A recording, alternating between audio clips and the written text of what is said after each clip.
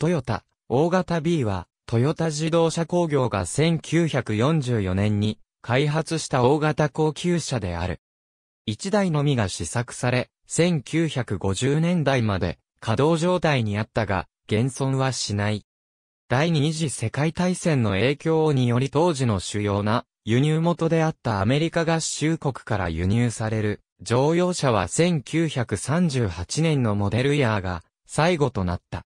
時が減るにつれ戦前から使用されていた乗用車は消耗し、特に三宅、高級官僚、軍部交換が使用する大型乗用車への要求が高まった。1942年に陸軍省と商工省の指示で自動車工業委員会はトヨタ自動車、日産自動車、ジーゼル自動車工業に試作を要請した。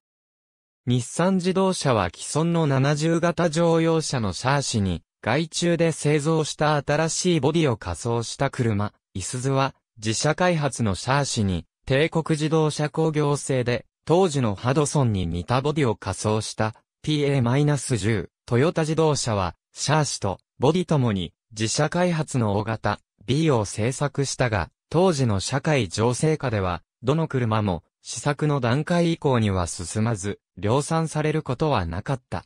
独立したラダーフレームを中央の X 型メンバーで補強したもの。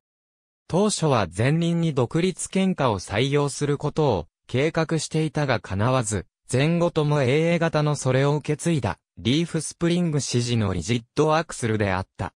特徴として油圧式ショックアブソーバーを装備していた。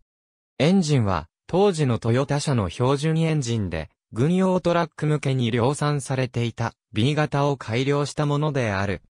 85HP、3000rpm の出力と 21mkg、1600rpm のトルクを持つ、直列6気筒オフ 3389cc、ガソリンエンジンであった。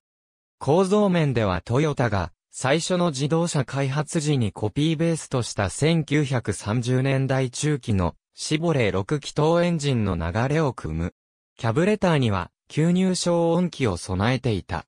大型 B は4リッターから6リッタークラス U に 100PS を超える出力を備えたアメリカ製中上級車を代替するための車であった。したがって、アメリカ製大衆車サイズの AA 型シリーズ等に比べ、大幅に車重が増加していたが、それにもかかわらず、同一クラスのエンジンを充当せねばならなかったことが、当時の急防事情を物語っていると言える。変速機は3速のマニュアルトランスミッション。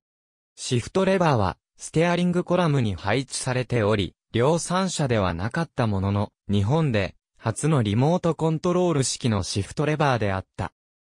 外形デザインの参考となったとされる1940年型、シボレーボディのデザインは当時トヨタ自動車が入手していた1940年型のシボレー車を参考にしたと言われ、トランク部が独立した6窓の3ボックス型であり、ヘッドライトはフェンダーに半埋め込み式、ラジエーターグリルは車体全部に開口部を設けた、リンカーンゼファーやデソートに似たものであった。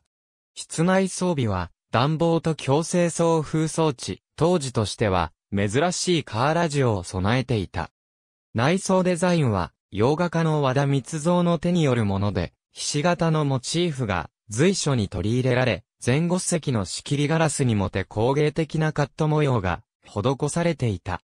ありがとうございます。